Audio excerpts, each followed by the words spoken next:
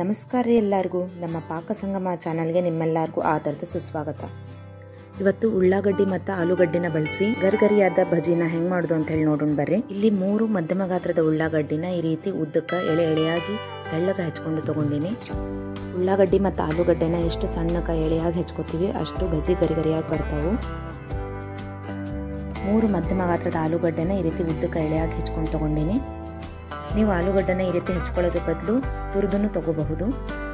ಈಗ ಇದಕ್ಕೆ ನಾನು ಒಂದೂವರೆ ಚಮಚದಷ್ಟು ಉಪ್ಪನ್ನು ಹಾಕೊಳ್ಳಿರತ್ತೀನಿ ಉಪ್ಪು ಕಡಿಮೆ ಅನ್ನಿಸ್ತಂದ್ರೆ ಆಮೇಲೆ ಇನ್ನೊಂದು ಸ್ವಲ್ಪ ರುಚಿ ನೋಡಿ ಸೇರಿಸ್ಕೋಬಹುದು. ಜೊತೆಗೆ ಎರಡು ಸಣ್ಣದಾಗಿ ಹೆಚ್ಚಿರೋ ಹಸಿ ಮೆಣಸಿನಕಾಯಿ ಸಣ್ಣದಾಗಿ ಕತ್ತರಿಸಿರೋ ಕರ್ಬೇವಿನ ಸೊಪ್ಪು,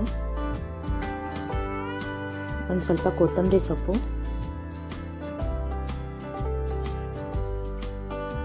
ಒಂದು ಕಾಲು ಚಮಚದಷ್ಟು ಇಂಗು ಅರ್ಧ ಚಮಚದಷ್ಟು ಅರಿಶಿಣ ಪುಡಿ, ಒಂದು ಚಮಚದಷ್ಟು ಖಾರದ ಪುಡಿ, ಅರ್ಧ ಚಮಚದಷ್ಟು ಜೀರಿಗೆ ಪುಡಿ, ಅರ್ಧ ಚಮಚದಷ್ಟು ಧನಿಯಾ ಪುಡಿ, ಒಂದು ಸ್ವಲ್ಪ ಅಜ್ವಾಯಿನ ಈ ರೀತಿ ತಿಕ್ಕಿ ಹಾಕ್ಕೊಳ್ಳೋಣ ಇಲ್ಲಿ ನಾನು ಒಂದು ಕಪ್ಪಷ್ಟು ಕಡಲೆ ಹಿಟ್ಟನ್ನು ತೊಗೊಂಡಿನಿ.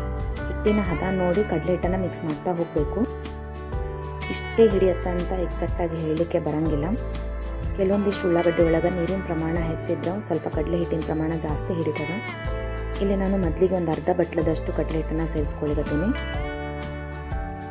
ಜೊತೆಗೆ ಎರಡು ಚಮಚದಷ್ಟು ಅಕ್ಕಿ ಹಿಟ್ಟನ್ನು ಸೇರಿಸ್ಕೊಳ್ಳತ್ತೀನಿ ನೀರು ಹಾಕೊಳ್ದನ ಸರಿಯಾಗಿ ಕೈಯಿಂದ ತಿಕ್ಕಿ ಕಲಿಸ್ತಾ ಹೋಗಬೇಕು. ಉಳ್ಳಾಗಡ್ಡಿ ಮತ್ತು ಉಪ್ಪಿನ ಅಂಶ ಸೇರಿ ಈ ರೀತಿ ಕಲಿಸೋವಾಗ ತಾನಾಗಿನೇ ನೀರು ಬಿಡ್ತಾ ಹೋಗ್ತದೆ.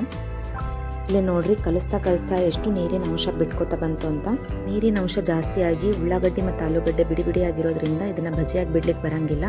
ಅದಕ್ಕಾಗಿ ಇದಕ್ಕೆ ಇನ್ನೊಂದು ಸ್ವಲ್ಪ ಕಡಲೆ ಹಿಟ್ಟನ್ನು ಸೇರಿಸ್ಕೊಳ್ಳೋಣ. ನಾನಿಲ್ಲಿ ಒಂದು ನಾಲ್ಕು ಚಮಚದಷ್ಟು ಕಡಲೆ ಹಿಟ್ಟನ್ನು ಸೇರಿಸ್ಕೊಳಿಗತ್ತೀನಿ ಹಂಗೆ ಹಂತ ಹಂತವಾಗಿ ಹದವನ್ನು ನೋಡಿ ಕಡಲೆ ಹಿಟ್ಟನ್ನು ಸೇರಿಸ್ಕೊಂಡು ಕಲಿಸ್ಕೊತಾ ಹೋಗಬೇಕು.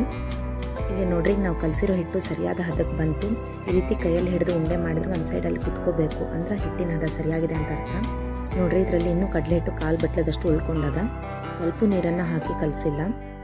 ಈಗ ಒಂದು ಬುಟ್ಟಿ ಒಳಗಡೆ ಎಣ್ಣೆನ ಬಿಸಿಗಿಟ್ಕೊಂಡು ಎಣ್ಣೆ ಎಣ್ಣೆ ಕಾದಾದ್ಮೇಲೆ ಈ ರೀತಿ ಸ್ವಲ್ಪ ಹಿಟ್ಟನ್ನು ಕೈಯಲ್ಲಿ ಹಾಕಿ ತಗೊಂಡು ಹೆಬ್ಬೆರಳಿನಿಂದ ಮಧ್ಯದಲ್ಲಿ ಸ್ವಲ್ಪ ಒತ್ತಬೇಕು. ಆಮೇಲೆ ಕಾದ ಎಣ್ಣೆ ಒಳಗಡೆ ಹಾಕಿ ಕರಿಬೇಕು. ನೋಡ್ರಿ, ನಾನು ಇಲ್ಲಿಂದ ತೋರಿಸ್ತೀನಿ. ಈ ರೀತಿ ಸ್ವಲ್ಪ ಹಿಟ್ಟನ್ನು ಮುದ್ದೆ ಹಾಕಿ ತೊಗೊಂಡು ಹೆಬ್ಬೆರಳಿನಿಂದ ಒತ್ತಿ ಎಣ್ಣೆ ಒಳಗಡೆ ಬಿಡಬೇಕು. ಹಿಂಗೆ ಮಾಡೋದ್ರಿಂದ ಎಲ್ಲ ಭಾಗದೊಳಗಡೆನೂ ಬಜ್ಜಿ ಸರಿಯಾಗಿ ಕರಿತಾವು. ಮಧ್ಯದಲ್ಲಿ ಹಿಟ್ಟಿನ ಅಂಶ ಉಳಿಯೋಂಗಿಲ್ಲ. ಹಾಕಿ ಅದನ್ನು ಮು, ಏನು ಕೈಯಾಡಿಸ್ಲಿಕ್ಕೆ ಹೋಗ್ಬೇಡ್ರಿ ಅದು ಬೇಯ್ದಾದ ಮೇಲೆ ಈ ರೀತಿ ತಾನೇ ಮೇಲ್ಗಡೆ ತೇಲ್ತಾ ಬರ್ತದೆ. ನೋಡ್ರಿ ಇಲ್ಲೇ. ಆವಾಗ ಇದನ್ನು ಹೊರಳಿಸಿ ಹಾಕಿ ಮತ್ತೆ ಇನ್ನೊಂದು ಭಾಗದಲ್ಲಿನೂ ಚೆಂದಾಗಿ ಕರ್ಕೋಬೇಕು. ಇಲ್ಲಿ ನಾನು ಹಿಟ್ಟನ್ನು ಕಲಿಸ್ಲಿಕ್ಕೆ ಸ್ವಲ್ಪನೂ ಎಕ್ಸ್ಟ್ರಾ ನೀರನ್ನು ಬಳಸಿಲ್ಲ. ವೇಳೆ ಈರುಳ್ಳಿಯಲ್ಲಿ ನೀರಿನ ಪ್ರಮಾಣ ಕಡಿಮೆ ಇದ್ದು ಹಿಟ್ಟು ಬಹಳ ಉದುರುದ್ರಾಗಿದ್ರೆ ಅವಶ್ಯಕತೆ ಅನಿಸಿದ್ರೆ ಎರಡರಿಂದ ಮೂರು ಚಮಚದಷ್ಟು ನೀರನ್ನು ಮಾತ್ರ ಹಾಕಿ ಕಲಿಸ್ಕೊರಿ. ಗರಿ ಗರಿಯಾದ ಉಳ್ಳಾಗಡ್ಡಿ, ಆಲೂಗಡ್ಡೆ ಬಜ್ಜಿ ರೆಡಿ ನಾ ಮಾಡೋ ರೆಸಿಪಿಗಳು ನಿಮ್ಗೆ ಇಷ್ಟ ಆದರೆ ನಮ್ಮ ಚಾನಲ್ನ ಸಬ್ಸ್ಕ್ರೈಬ್ ಮಾಡಿರಿ. ಮತ್ತು ಮುಂದಿನ ರೆಸಿಪಿಯೊಂದಿಗೆ ಲಗೂಣ ಸಿಗೋಣ ಅಂತ ಧನ್ಯವಾದಗಳು. ಸರ್ವೇ ಜನ ಸುಖಿನೋ ಭವಂತು.